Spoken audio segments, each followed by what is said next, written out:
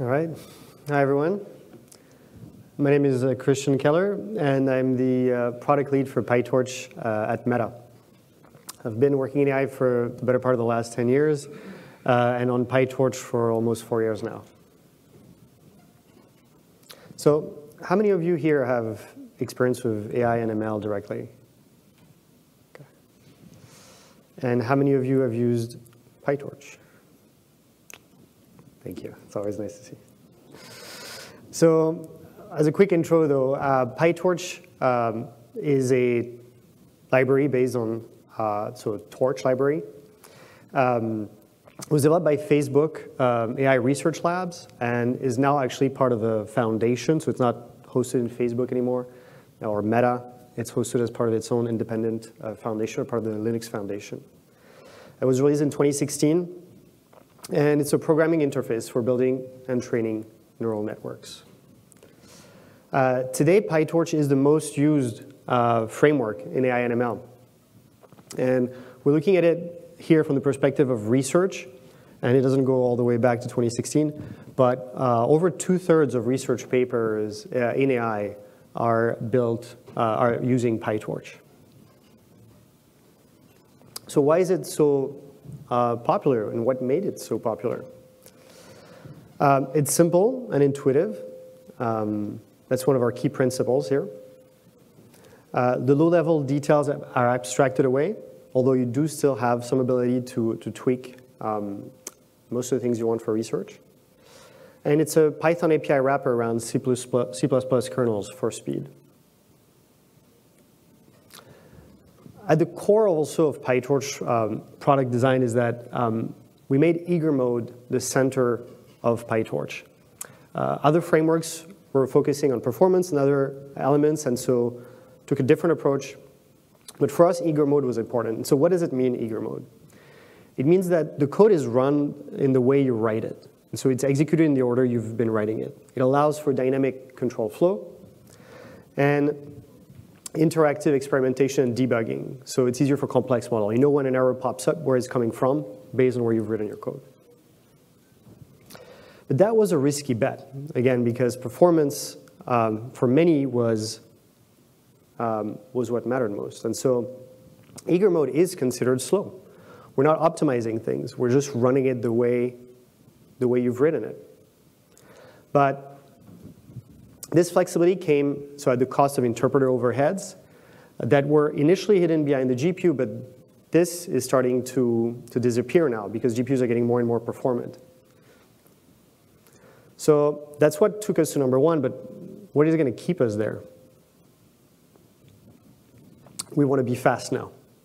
And so what I'm going to talk about today is what's our approach and how we think about getting that speed and still maintaining the PyTorchiness in a way for your deployments. So can we build a user-first compiler? We're looking at here these two uh, dimensions, performance and ease of use. It's not the only two dimensions that matter here, but I think these are the ones that we constantly struggle with. How many optimizations we want to bring and at what cost for the user when it comes to simplicity and when it comes to, um, to debuggability. So we're trying to have both. Uh, so how's, is how we're going to look at it. It's with torch.compile. And so that's what we branded as PyTorch 2.0 that we announced at our last conference uh, in December. And this torch.compile, which is a very simple um, line of code that you can add, can create massive performance improvements for uh, your models, both in training and in inferencing. So what does a deep learning compiler do? There's three main steps that we're looking at here. First is the graph acquisition. It's looking at the code that you have and being able to translate that into a graph, understanding the various loops, the various um, uh, changes that you make in your code. There's the graph lowering, which involves taking all the operators that you might have started with, which could be over 2,000 or more different operators, and simplifying that into a subset that's manageable and that can be used after that for optimizations. And then there's the graph compilation, looking at these operators that have been simplified and trying to combine them in a way that can create gains uh, for speed. And so the, the numbers are not exact that I'll share with you here, but roughly you can have between two to 3,000 types of operators that exist initially before the, um, at the graph acquisition step. The graph, lowering will bring it down to between two and 300 uh, different operators that we then combine in a way um, to create these optimizations.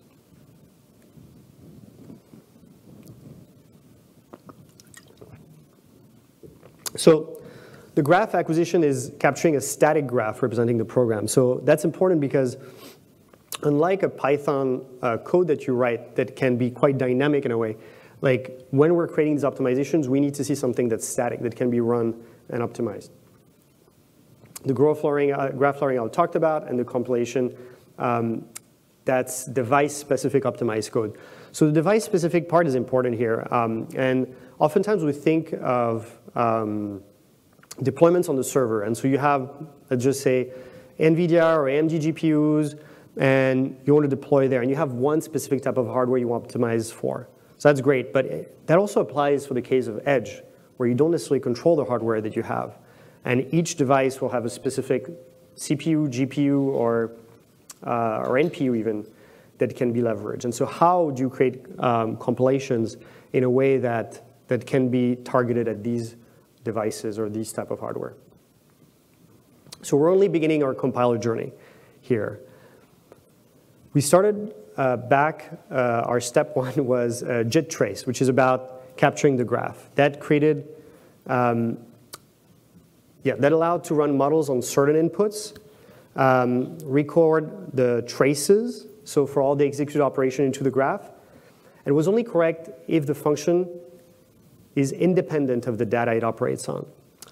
And that's a, little tricky because in effect, like the model that you wrote um, would only work for a certain space of inputs that would have been defined ahead of time. And so that's limiting because sometimes um, when you deploy on large scales for billions of users at times, the, they don't necessarily fit into uh, the limitations that you set for the input. So the model could behave um, in an unpredictable way. So we decided to do better. We decided to do JIT.script. And so that's when we introduced TorchScript. TorchScript um, is a statically typed subset of Python. It did allow for more of that uh, PyTorchiness to be brought in a way uh, all the way down to the deployment. Um, and one important point here is that the source code um, needed to be refactored, and so you couldn't include with it any third-party libraries. So that's a problem when you have um, uh, when you're bringing libraries like I don't know NumPy, for example, or any of the other ones that you might have wanted to have. They need to be taken out or rewritten as part of the code all the way in it. So we had jit.trace, jit.script, and now we've got Dynamo. So how is Dynamo different? So we include graph breaks for completeness to revert to eager mode. And we've got guards for soundness to ensure that all the assumptions are still valid and that, in a sense, no matter the inputs that you get, the model will behave in the way you had predicted. So the idea behind it is that instead of trying to get you one graph for your entire model. You create a set of subgraphs that we know we can compile that are going to be static.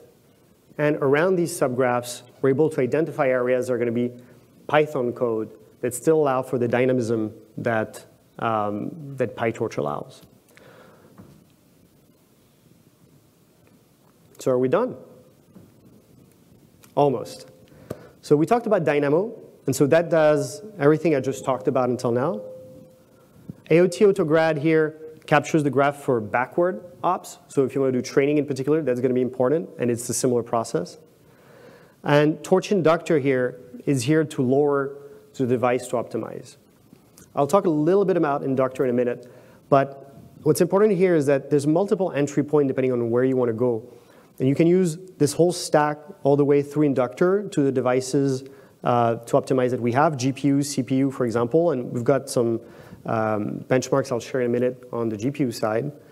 But you could connect, like if you're a hardware manufacturer or a compute API, even at the Dynamo level or at the AOT Autograd level, depending on what you're trying to achieve here.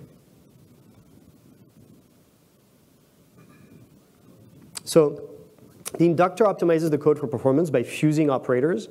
So this is what we're looking at in terms of identifying operators that would work well together in order to optimize for the um, device you're targeting. And then um, you can register custom backends through Inductor. And so here the idea is that we want to leverage the community to be able to build and tie into what we're building. So we're not going to be the specialist at building um, optimizer for, let's say, um, AMD GPUs or for NVIDIA GPUs or for um, Qualcomm chips maybe. And so being able to have these vendors or these compute APIs that arrive tie in at this level and create the optimizations they need is what we're hoping to achieve long term. So this um, new uh, process, the dot compile, just adding this one line of code gets you 43% performance improvements over eager mode on NVIDIA GPUs in these benchmarks. For a set of models you can find, um, it's about 120 models that we've trained, we've looked at from Hugging Face to TIMM to uh, Torchbench that we can find uh, on, our, on our website. And that's just out of the box with one extra line of code that you're getting that. And it works 93% of the time. So one um, thing, as I mentioned earlier, is we're an open source project. We work not just with the team that's at Meta or that's at Amazon or at Microsoft or at Google or any of these other companies that works on, on PyTorch. But um, through the many contributors that, that come and, and engage with us day to day, we've got over like 3,000 contributors that uh, are part of building PyTorch. And so um, you can find here, and I'll, these slides will be shared later, but on our website where to contribute. An easy way to start contributing on PyTorch um, is initially, if you're learning about it, through improving documentation that we have. So we've got a Docathon starting um, late May. You can scan the uh, QR code if you'd like to join.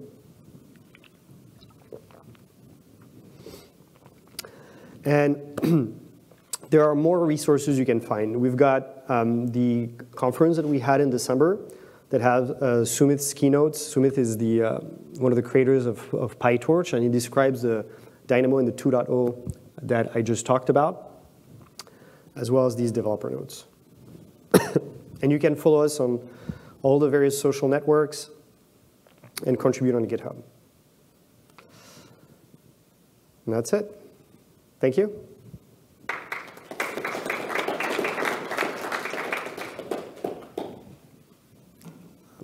I'll take a few questions if.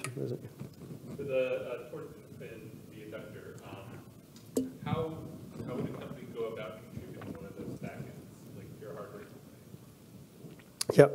Um, so I think uh, the first thing to do if you haven't been engaging with us is uh, to get in touch with the, um, the team that's working on that. And so uh, you can find them on our, um, yeah, and so on that page on contributing, there's like specific entry points for, for that. The, um, the other piece is uh, looking at our GitHub um, for PyTorch that has all the documentation you need to kind of get it get started. And there's tutorials also on how to um, to engage on the on the inductor piece specifically. Yeah.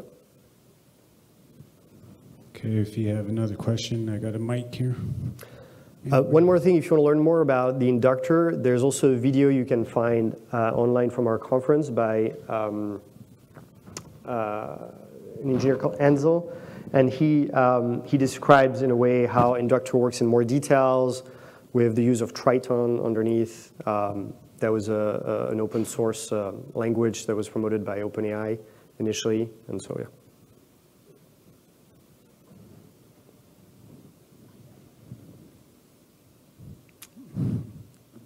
That was so clear. Yeah. No other questions? I'd just like to say uh, it was interesting listening to you talk about AI. It's something that uh, it's on all of our minds nowadays. so thank you. Thank you. Well, and uh, all the models you're hearing about these days, um, ChatGPT, DALL-E, uh, all these are built on PyTorch. So we're pretty proud of this. Um, and uh, so keep, keep an ear out for, for what's happening out there, and, uh, and feel free to reach out if you have any questions. Thank you.